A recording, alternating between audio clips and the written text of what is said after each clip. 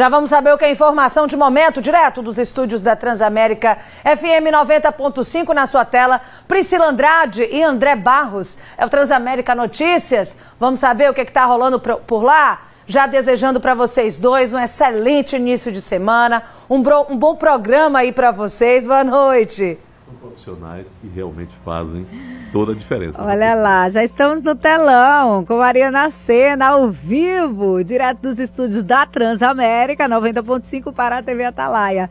Mariana, uma boa noite para você. Obrigada por, pelo espaço, né? Por esse espaço que a gente tem aqui todos os dias, de segunda a sexta.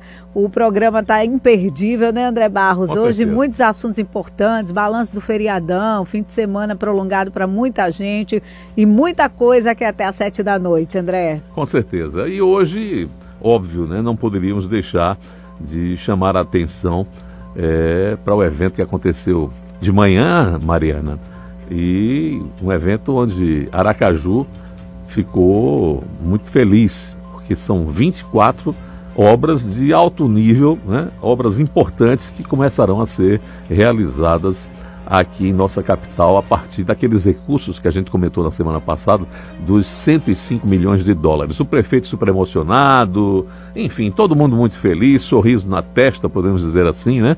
Aquele sorriso aberto. E para Aracaju, sinceramente, não poderia ser uma notícia melhor. E hoje a gente abriu o programa falando sobre isso.